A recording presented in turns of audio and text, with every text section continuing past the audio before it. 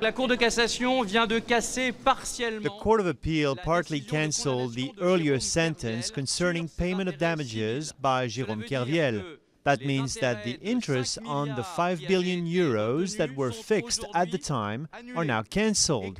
and that this decision marks a first victory in the defense of Jérôme Kerviel, because today, the earlier ruling that there was no wrongdoing on the part of the Société Générale has been challenged.